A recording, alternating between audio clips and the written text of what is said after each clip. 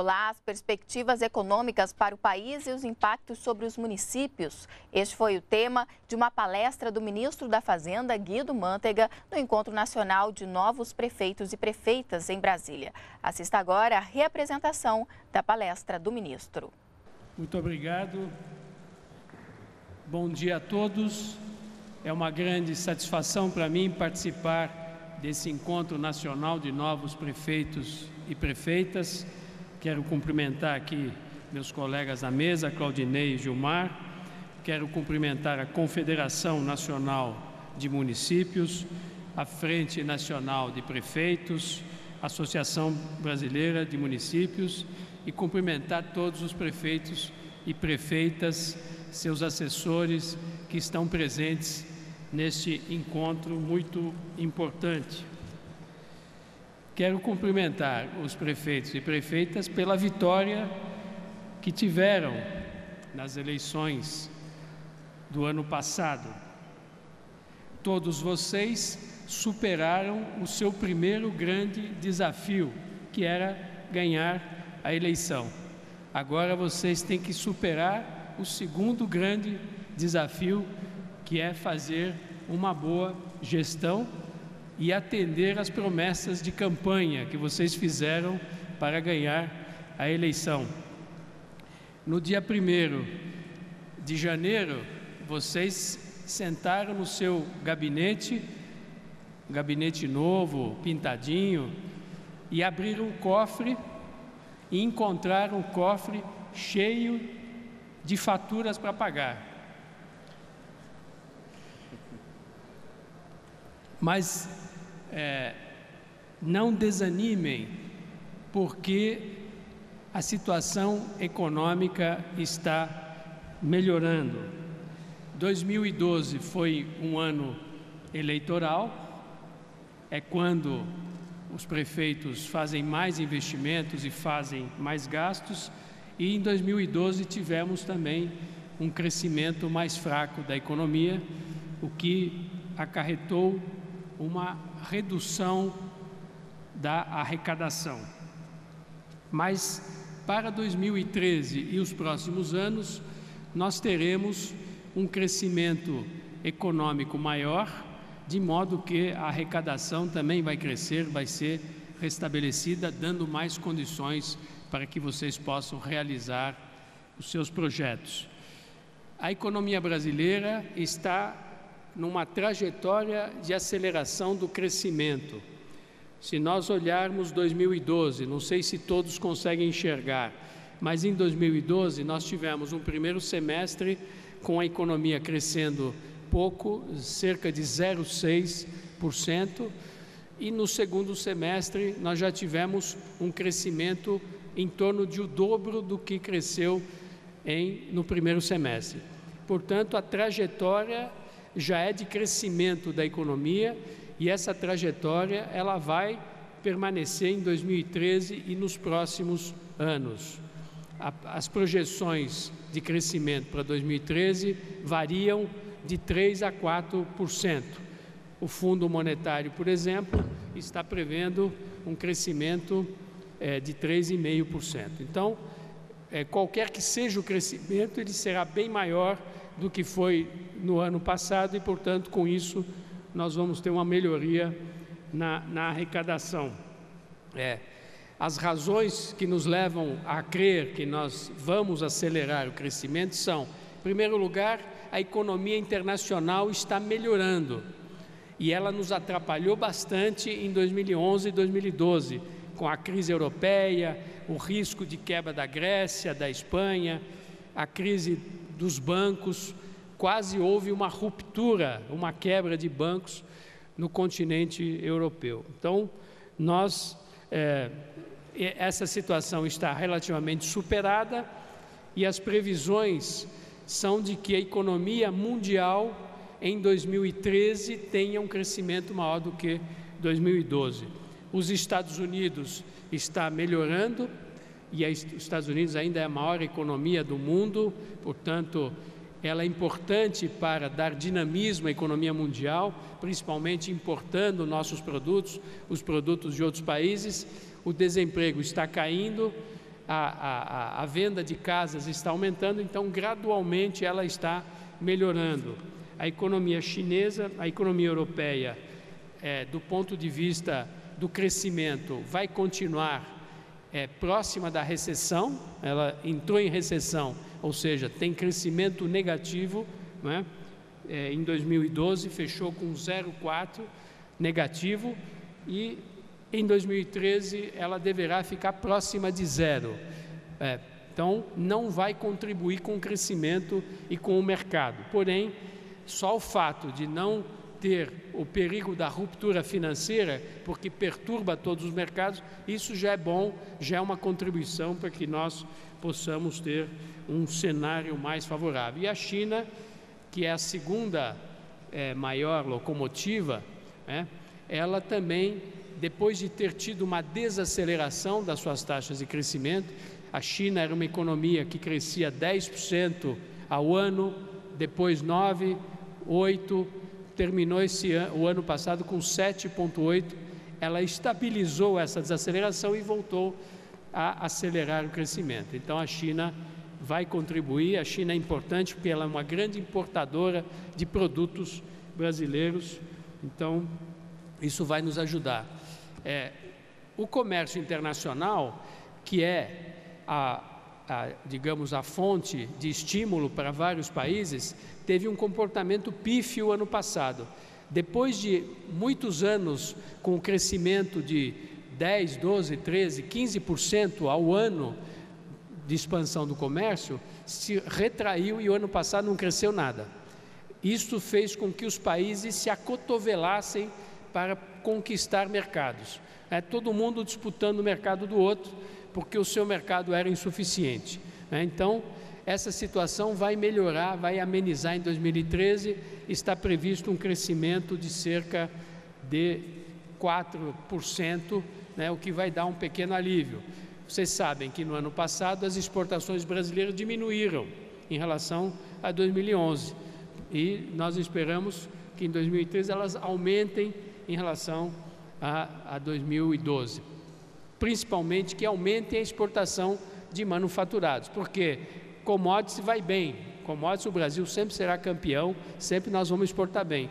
Nosso problema é exportar manufaturado e mobilizar as indústrias brasileiras que não tiveram bom desempenho no ano passado. Então, para este ano, deveremos exportar mais e a indústria vai produzir mais para o mercado interno. Mas o que é, garante que nós possamos ter um crescimento mais sólido é que hoje o Brasil tem fundamentos sólidos. Né? é um país estável com fundamentos sólidos. A nossa política fiscal é uma política fiscal é, responsável, né? é uma política que nos leva à redução da dívida e saíram ontem os resultados, aliás, hoje de manhã saiu o resultado fiscal de 2012 e nós fizemos um superávit primário de 2,4. Não fizemos 3,1, como era, digamos, a previsão, máxima, porque fizemos política anticíclica, porque fizemos desonerações de tributo para estimular a produção, né? e arrecadamos menos e, portanto, fizemos 2,4, que é um excelente resultado e foi suficiente para reduzir a dívida brasileira. Vocês lembram que antigamente uma das grandes preocupações do país era a dívida. O, país era um, o Brasil era um país endividado, é, tinha gente que dizia não vão pagar dívida, não sei o quê. Então, hoje o Brasil é um país que tem uma dívida pequena e que vem diminuindo. Isso nos dá solidez. Não dependemos dos credores. A dívida externa brasileira hoje é 311 bilhões de dólares, sendo que nós temos 377 bilhões de dólares de reserva. Temos mais reserva do que dívida, estamos tranquilos desse ponto de vista. Em relação aos estados e municípios, eh, nós mandamos um projeto de lei complementar, já está no Congresso, eh, alterando o indexador da dívida de estados e municípios, de modo que nós tínhamos o indexador salgado, tínhamos, não, temos ainda, né, que é o IGPDI mais 6% ou IGPDI mais 7,5%, dependendo do caso, E isto é, representa IGPDI mais 6%, nos últimos 12 meses deu quase 12%. Portanto, a dívida dos municípios é, que tem IGPDI mais 6% cresceu 12% nesse período. Né? Ou quem tem IGPDI mais 7,5% cresceu 13%. A nossa proposta é mudar o indexador para ou IPCA mais 4 ou a Selic, que hoje é 7,25. Então, em vez de pagar 12 ou 13, pagará 7,5%. Isso significa que a dívida vai crescer menos, né? já vai dar um alívio né, para a velocidade de crescimento da dívida. Só queria dizer que a política fiscal sólida do governo brasileiro vai continuar. Nós vamos continuar fazendo essa política anticíclica, apresentando resultados fiscais. E eu quero dizer que o Brasil hoje é considerado um dos países é, que tem é, mais transparência fiscal. Né? Acabou de sair é, o resultado de uma pesquisa, né? chama Open Budget, é, significa orçamento aberto, né? e mostrou que o Brasil, entre 100 países do mundo, tem o 12 melhor orçamento, melhor transparência de orçamento entre 100 países, na frente da Alemanha, é do México, da China, etc. Né? Então, está aí para vocês verem isso. Então, isso é muito importante para nós, né? Porque não há dúvidas quanto às contas públicas brasileiras. Um outro fundamento importante é o controle da inflação. A inflação, em alguns momentos, ela causa preocupação, porque em alguns períodos do ano, principalmente no final do ano e no início do ano, ela cresce um pouco mais, por causa de chuva, entre safra, seca, etc. Né? Principalmente são os alimentos que fazem essa elevação da inflação e outros fatores. Mas é, essa, esse movimento ele é transitório e nós fechamos a inflação em 2012 de 5,8. Então o IPCA de 2002 foi 5,8, menor do que 6,5% de 2011. Portanto, a inflação está caindo, está sob controle e deverá ser menor ainda em 2013. Mas o Brasil tem uma grande virtude que é invejada por praticamente todos os países. O Brasil tem um mercado interno dinâmico que foi criado nestes últimos anos.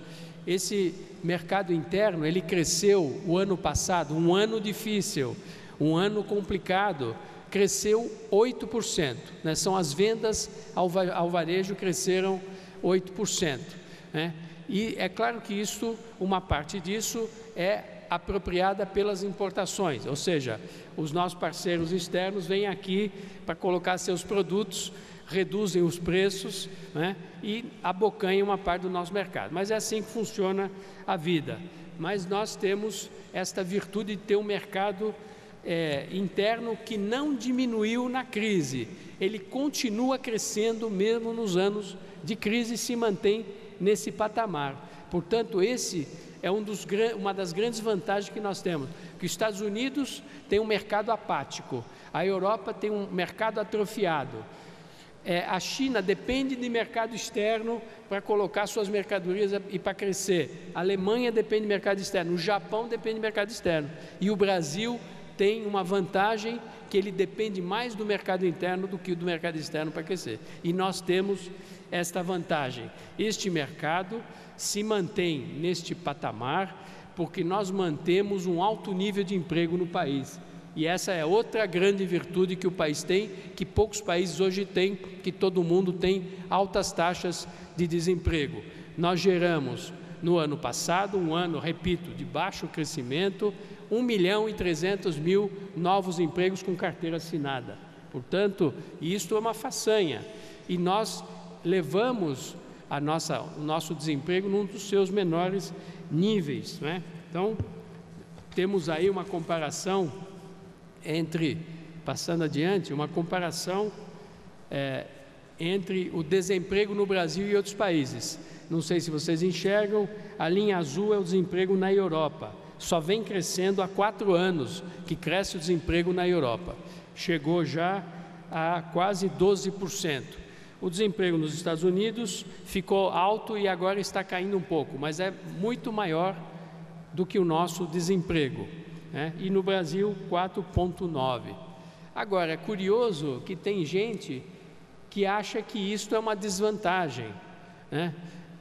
Essas pessoas não têm coragem de falar isso com clareza, né? porque pega mal dizer, olha, ter é, baixo, de, baixo desemprego significa que os salários continuam crescendo, significa que o trabalhador continua ganhando bem no Brasil né? e que o salário real está crescendo. Então, eles olham só pelo lado do custo, dizem, não, isso aí é custo para as empresas, mas eles não enxergam que o trabalhador com salário, com emprego, tudo isto cria o mercado consumidor. Não haveria esse mercado consumidor se não houvesse o trabalhador com renda, com salário, com poder aquisitivo, consumindo nas cidades, pagando os tributos das cidades, que é isso que os trabalhadores fazem. Né? Então, essa é uma vantagem do Brasil e nós neutralizamos esse custo salarial maior no Brasil com a desoneração da folha de pagamentos. Porque o que está acontecendo nos Estados Unidos, na Europa e em outros países? Está havendo uma redução forte de salário. O trabalhador está pagando a conta né, desta crise. É muito comum, tem alguns colegas meus, economistas, que acham que o ajuste da crise se faz em cima do trabalhador. Aqui no Brasil nós não fazemos isso. Aqui no trabalhador o ajuste não é em cima do trabalhador, né? mesmo porque isso acaba destruindo o dinamismo da economia. E portanto nós nos Estados Unidos o salário está caindo, na Europa o salário está caindo, os direitos estão sendo tolhidos dos trabalhadores. Aqui no Brasil nós atravessamos essa crise sem fazer isso, mantendo todos os direitos e neutralizando isso com a desoneração da folha de pagamentos. Mas, é, para combater a crise e para estimular a economia brasileira, nós estamos usando um arsenal de armas poderosas, né, que são a política monetária, que significa a redução dos juros. O Brasil era um país que praticava juros vergonhosos, juros é, entre os maiores do mundo. Né, e quando os juros são altos, o juro alto prejudica a produção, né, porque encarece o custo do investimento, o custo de capital, encarece o consumidor, o consumidor poderia comprar duas geladeiras ao invés de uma geladeira só, né, porque antigamente ele pagava uma geladeira e mais uma outra de juro, né, pega o juro 100% da compra que ele fez, então ele paga duas geladeiras ao invés de uma só. Né? E prejudica também o Estado brasileiro que paga a conta de juros né, para terceiros. Então, nós corrigimos, fizemos uma correção importante, reduzindo os juros para hoje 7,25. 7,25 é um dos menores juros que nós já tivemos nas últimas décadas. Nem me lembro se teve algum momento que os juros fossem tão baixos. E esses juros vão fazer com que a produção seja mais barata, o investimento seja mais barato, o consumo seja mais barato. O trabalhador vai consumir mais, o investidor vai investir mais e assim por diante. Então, é, esse é um forte fator de dinamização da economia. É claro que alguns se queixam porque perderam, porque deixaram de ganhar. Perderam não é bem o termo, mas ganhavam muito, agora estão ganhando pouco. Alguns estão choramingando, né? estão jogando umas farpinhas no ministro da Fazenda que fez isso. Né? Então, é, é, da vida, né? é da vida. Se o cidadão quer ganhar fazendo aplicação financeira, sem é, suar a camisa, ele vai poder ganhar também, ganhar um juro né? 0,5, 0,6 ao mês, vocês devem ter aí caderneta de poupança, etc. Vai ganhar menos, mas vai ganhar. Agora, se você quer ganhar mais, você tem que aplicar no setor de habitação, e o setor de habitação e construção é um setor que nós estimulamos e vai continuar crescendo fortemente no Brasil. É importante porque o setor de construção movimenta as cidades, movimenta as economias das cidades. É? emprega muita mão de obra, portanto, vai continuar, ou então o cidadão compra um título é, ligado à produção, uma debênture de uma empresa e outros títulos que estão surgindo, aí ele pode ter uma rentabilidade maior, mas tem algum risco, tem algum risco, mas ele vai ser sócio da produção e vai estimular a produção. Então é isso que está acontecendo. Outra força poderosa foi a política cambial. É, nós estávamos com um câmbio muito valorizado, ou seja, o real estava valorizado. É claro que o pessoal que vai para o exterior gostava disso, né? porque saía barato ir para Miami, ir para os Estados Unidos, ir para a Argentina. Né? Então, talvez alguns aí se ressentiram um pouco, pagaram uma conta um pouquinho mais alta. Mas, em compensação, isto deu competitividade para a indústria brasileira. E para nós é mais importante ter a indústria porque a indústria vai aumentar o emprego, vai aumentar o salário, e aí vão, o pessoal vai poder viajar também, que vai estar ganhando mais, do que deixar a indústria atrofiar por uma concorrência muitas vezes desleal, baseada numa vantagem cambial. Muitos países fizeram políticas de desvalorização do seu câmbio para poder vender mais, para ter mais competitividade. Não só vender mais, mas dentro do Brasil. Então, nós tínhamos uma desvantagem para exportar e dentro do país. Né? 2011, é, houve uma enxurrada de produtos importados no Brasil, porque os produtos entravam barato, mas porque o câmbio de certos países estava era manipulado para baixo. Né? Então, nós mudamos a política cambial. Hoje, o real ele é mais competitivo, não é? ele adquiriu uma certa estabilidade e quero dizer, a política cambial não muda. A política cambial não muda. Essa política cambial veio para ficar. Isso significa que as empresas vão continuar sendo estimuladas para exportar, vão ter competitividade para exportar e já voltaram. Né? Mesmo com essa crise, com essa falta de mercado, a indústria automobilística voltou a exportar, né? é, voltou a ter poder competitivo e outros setores também. Né? Então o câmbio é flutuante, sim, a gente deixa flutuar, mas se exagerar na dose, a gente vai lá e conserta. E um outro instrumento muito importante para estimular a produção e o consumo é a desoneração, é a redução de tributos. Eu já citei aqui a mais importante, que é a redução da folha de pagamentos, que é eliminar o pagamento do INSS e colocar uma parte disso sobre o, o faturamento, então reduz o custo de várias empresas, principalmente empresas de serviços que estão nos municípios, é? então elas vão faturar mais e vão pagar mais tributos. Eu sei que quando a gente reduz o IPI, é, que é um tributo que entra é, na constituição do Fundo de Participação dos Estados, e municípios, os prefeitos não gostam, né? os prefeitos reclamam. Eu quero dizer aos senhores que se a gente não fizesse redução de IPI para a indústria automobilística, linha branca, material de construção, nós teríamos uma queda de vendas e queda de produção.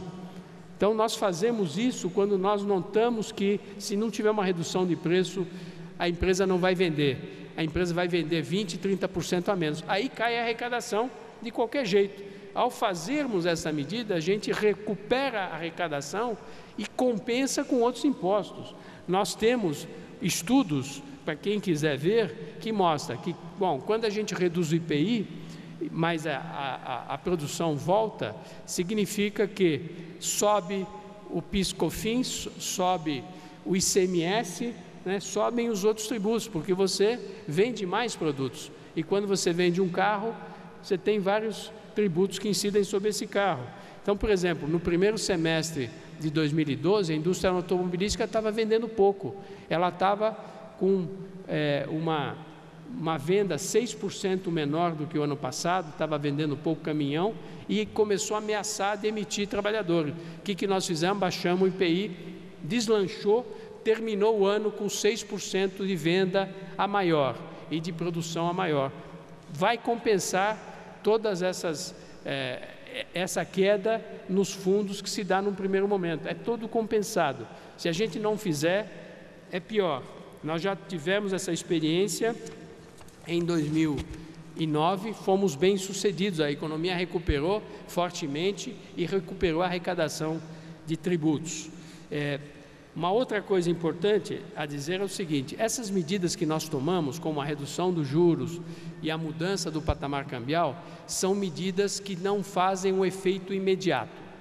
Isso já está, é, digamos, na teoria econômica. Quando você reduz o juro, ele demora 9, 10, 11, 12 meses para exercer um efeito. E isto é mais verdadeiro no Brasil, porque no Brasil nós tínhamos, é, digamos, um vício nós tínhamos um, é, um, um, vício do juro alto. Né? Uma, toda a economia estava intoxicada pelo juro alto. É, então, por exemplo, é, mesmo o setor produtivo se defendia também obtendo renda financeira. Né? Você pega o balanço de uma empresa produtiva, aquela que vai ganhar com a queda da taxa de juros, mas ela, para se defender, às vezes ela tinha uma receita financeira até maior do que a receita produtiva. Então, num primeiro momento, quando nós baixamos o juro, até as empresas produtivas perdem um pouco de receita, né, até impulsionar a produção e ter o lucro. No passado, vocês devem lembrar, grandes grupos de serviços, grandes grupos do setor é, é, é, varejista, atacadista, tinham mais renda financeira do que renda produtiva. Então o sujeito descuidava da produção e o negócio dele era renda financeira. Então nós mudamos essa realidade, né? mas estamos numa transição que demora algum tempo para entrar em vigor, para que a sociedade se adapte. É uma desintoxicação dos juros altos que nós estamos fazendo, cujos frutos vão aparecer daqui para frente com essa adaptação do sistema econômico, juros mais baixos e um câmbio mais competitivo. Né? Então, um câmbio mais competitivo, mesmo o setor produtivo importava máquinas mais baratas e, e, e, e fazia, é, captava recursos no exterior a juros mais baixos e tá, está tendo que mudar um pouco essa dinâmica. Então, eu considero o ano de 2012 um ano de desintoxicação de modo que em 2013, 2014 nós já teremos, vamos colher os frutos dessa política que foi plantada. Mas um grande estímulo ao crescimento que nós estamos fazendo é um grande programa de investimentos. É, o governo está implementando um grande programa de investimentos, porque o investimento é o grande vetor do crescimento da economia. Então, além do PAC, do qual vocês já ouviram falar aqui exaustivamente ao longo da semana, não vou repetir, nós criamos o ProInvest, que são 20 bilhões para os estados brasileiros, e isto deve é, reverter em benefícios também para os municípios, e é, fundamentalmente o PAF, que é o Programa de Ajuste Fiscal, que dá espaço fiscal para os estados é, implementarem projetos de investimento. Só em 2012 nós liberamos 58 bilhões de espaço fiscal para todos os estados do Brasil que estão implementando projetos. Esses projetos são realizados nos municípios, portanto, os municípios vão se beneficiar é, desta modalidade. Nós queremos que os estados e municípios tenham capacidade de investimento, que ela aumente ao longo do tempo. E uma outra modalidade importante são o programa de concessões de infraestrutura que nós anunciamos.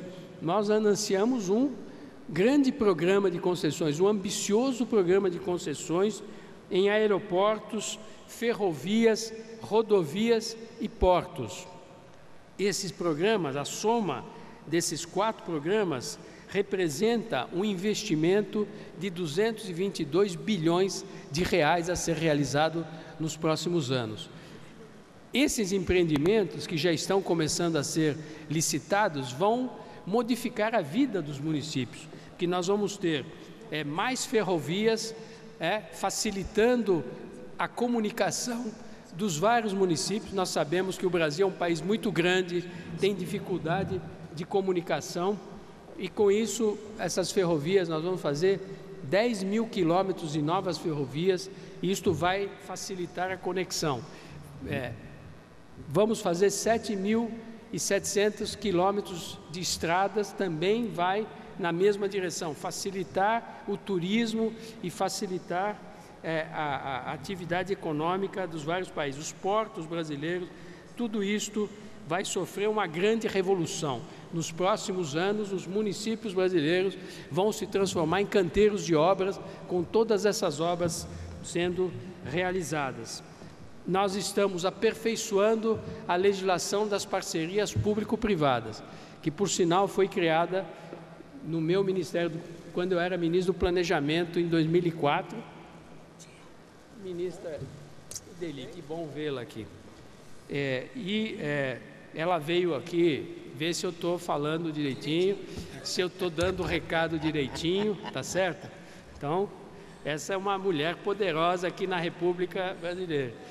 Mas, como eu dizia, então nós vamos aperfeiçoar as parcerias público-privadas, é, facilitando novos investimentos, reduzindo tributos que ainda existem, porque alguns nós já tiramos, né? faremos novas modificações que eu sei que os municípios estão interessados em realizar parcerias público-privadas. Além disso, vamos ter nova rodada de concessões de petróleo e gás que serão anunciadas ao longo do ano.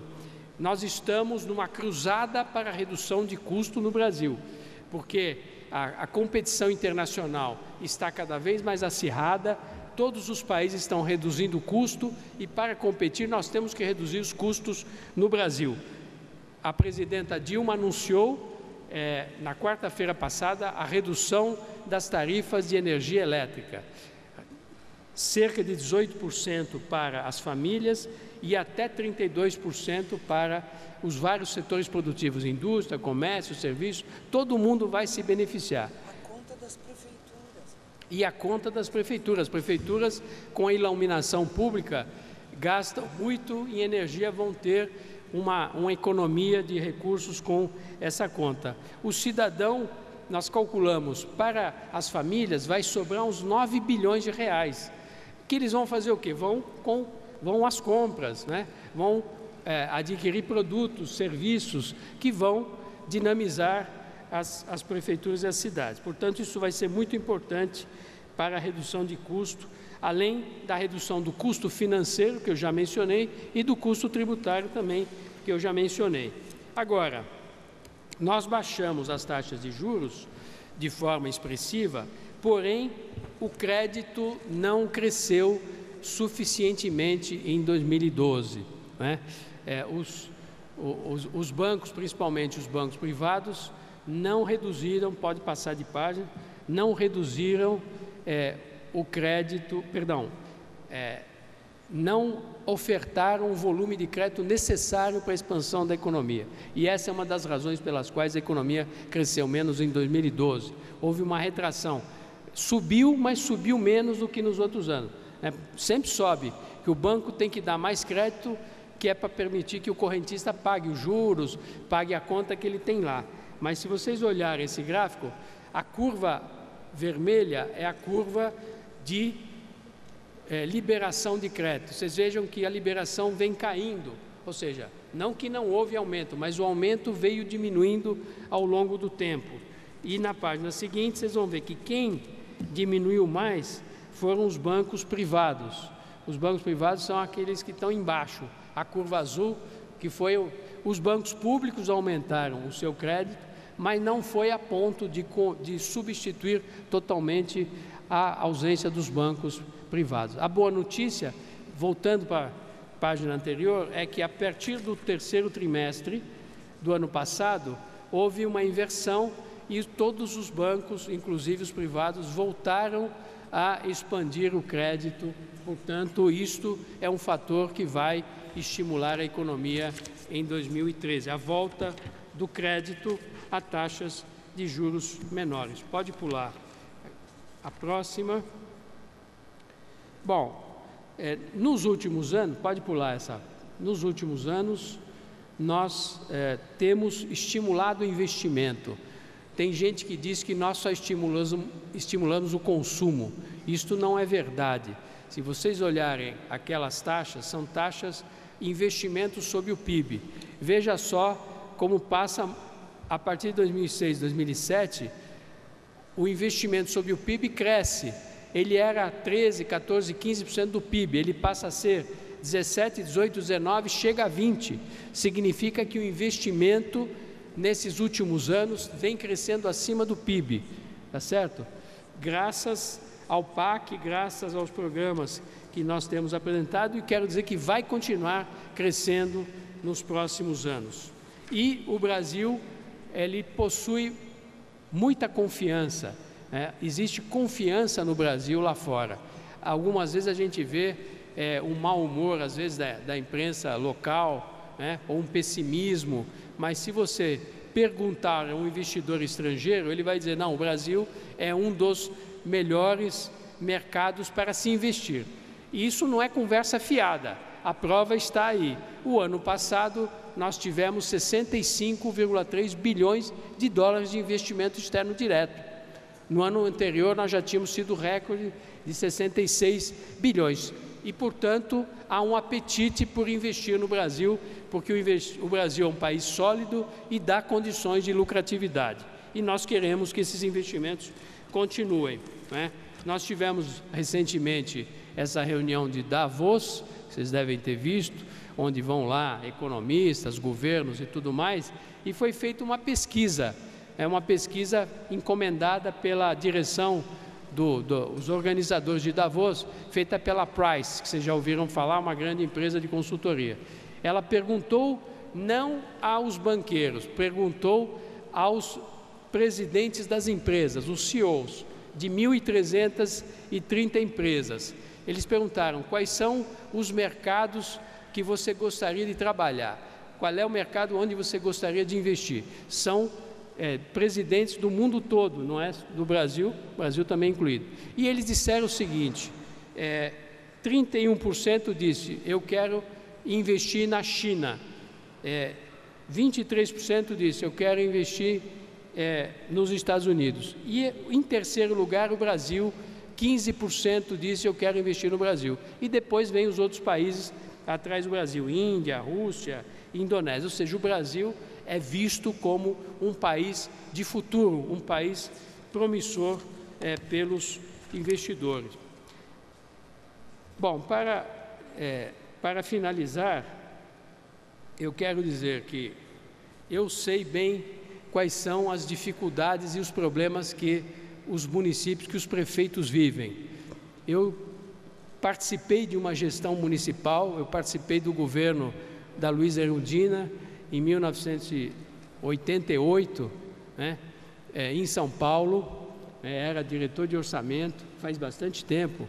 Eu era muito jovem naquela época, de, ainda fui de calça curta, é, a cabeleira farta, Entrei, passei os quatro anos, perdi todos os cabelos, porque eu sei que é difícil de governar a cidade, os municípios, todos têm muitos problemas. Eu quero dizer aos senhores que os problemas se resolvem, que nós, no Ministério da Fazenda, em todo o governo, nós queremos ser parceiros de vocês. As portas do Ministério da Fazenda estão abertas para o diálogo e para soluções que nós possamos implementar em conjunto com vocês. Portanto, eu queria dizer: contem conosco, contem comigo para dinamizar os municípios brasileiros no que for necessário. Muito obrigado. Obrigado, ministro Guido. Vou passar para a ministra Ideli fazer a sua saudação, depois nós já entramos no bloco das perguntas. Bom, meu muito bom dia aos nossos prefeitos, prefeitas, secretários, e dando meu abraço carinhoso, porque vocês sabem que a gente tem que tratar bem o manteiga, né? Manteiga é pessoa-chave no tratamento prioritário da gentileza, porque ele é o grande responsável aí para a gente poder ter né, a economia brasileira nos orgulhando, continuando a ser referência e destino né, de investidores e nos dando esta sensação né, de que as coisas tendem efetivamente a ser melhores, cada vez melhores. E por isso, saudar né, este momento que nós estamos aqui tendo oportunidade, inclusive, de conhecer os grandes números, conhecer né, a, as grandes perspectivas que estão colocadas para o nosso país e que estão né, sob a responsabilidade, boa parte delas, na responsabilidade do Ministério da Fazenda. Então, desejar mais uma vez sucesso, né? E dizer, Manteiga, que algumas vezes, quando você fala assim, que tem gente que tem má vontade, que não consegue enxergar, né? Eu, eu tenho me lembrado muito, quando a gente lê, ouve e tal, um desenho de um, um animal que, ó dias, ó céus, ó azar, vocês lembram desse? Não, não vai dar certo, não vai dar certo. Aqui estão os que acreditam que vai dar certo, eu não tenho a menor dúvida. Obrigado, ministro Deli. Bom, nós vamos. Chegaram várias perguntas à mesa, é, inclusive várias perguntas repetidas sobre o mesmo tema, então a gente dividiu aqui em três blocos. Senhor ministro, o Brasil desonera a folha das empresas, não seria possível desonerar também das prefeituras? Haja vistas as prefeituras, principalmente as pequenas, são as maiores fontes de emprego em suas localidades.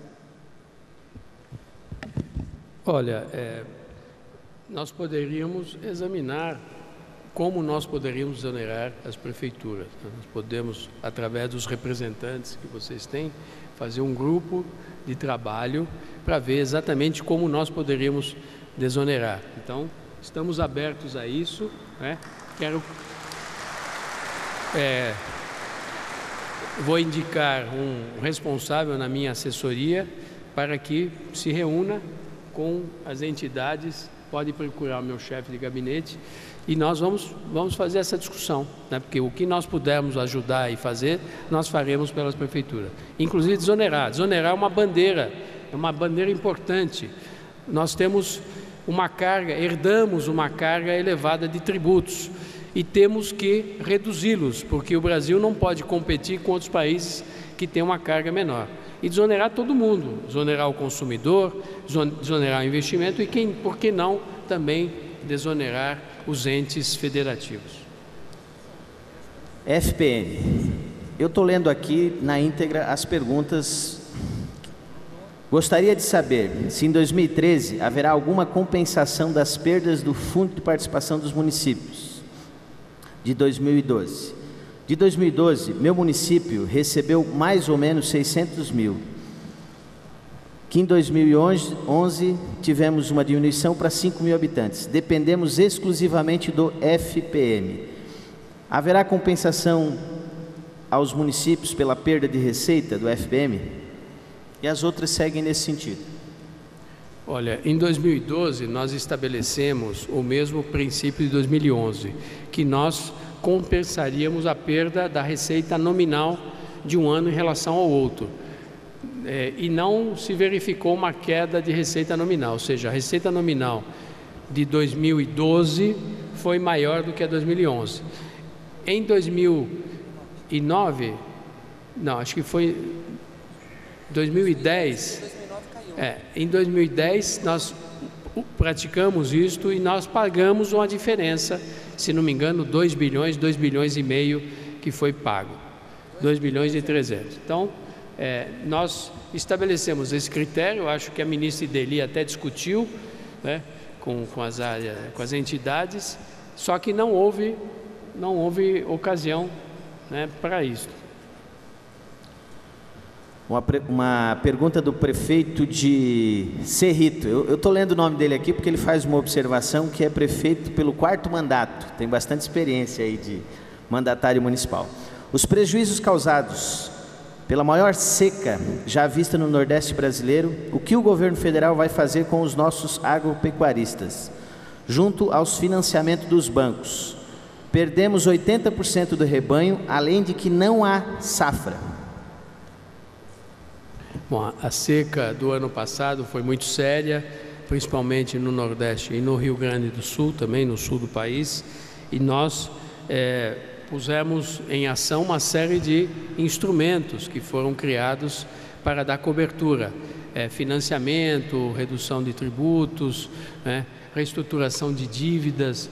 Então foram, não ficou sob a nossa coordenação, é da coordenação do Ministério da Integração, né, que tem esse programa é, e fizemos, colocamos muitos recursos aí. Se há mais coisa a ser feita, nós temos que acompanhar, né, para ver se não deu para cobrir a reposição dos animais perdidos, se não deu para estimular a nova safra, se não deu condições para que os agricultores que perderam possam realizar a nova safra.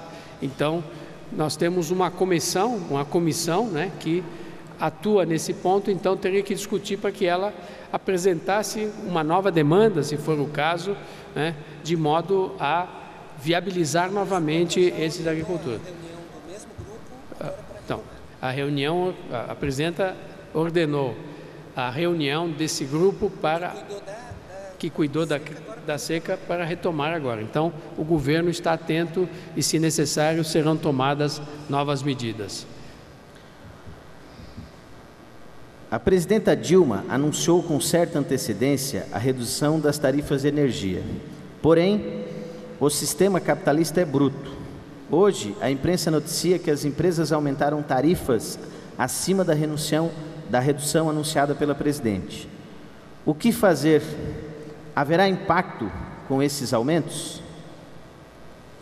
Bom, a, a, a política de tarifas é controlada pela Agência Nacional é, de, de Energia, pra, pela ANEL. É, então, as empresas não podem elevar as tarifas a seu bel prazer.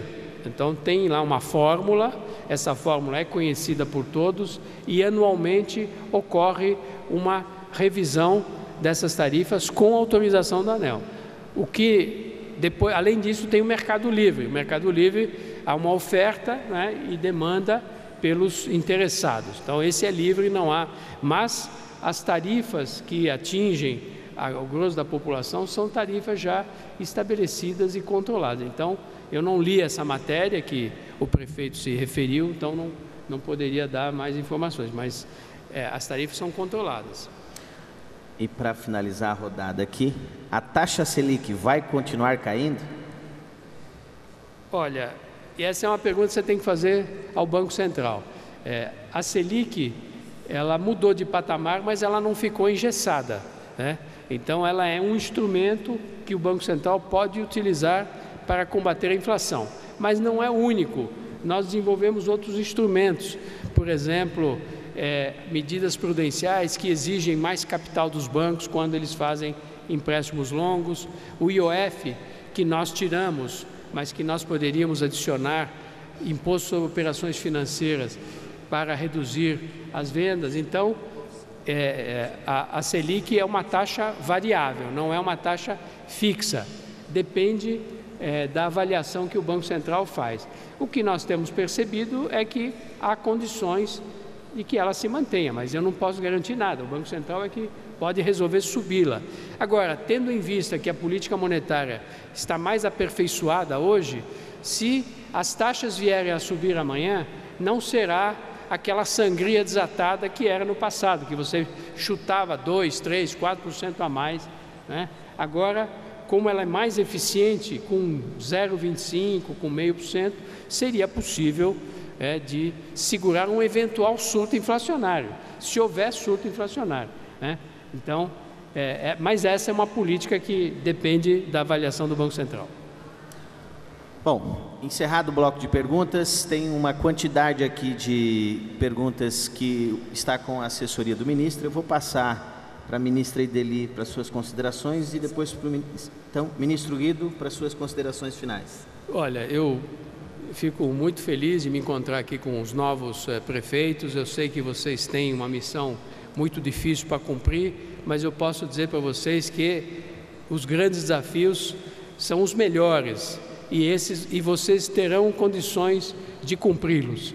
Que nós estamos do lado de vocês, vocês contem com o governo federal e vamos manter um diálogo aberto para resolver mais rapidamente os problemas que surjam de ambas as partes. Muito obrigado a todos e boa sorte nos seus governos. Agradecemos a participação do ministro Guido Mann.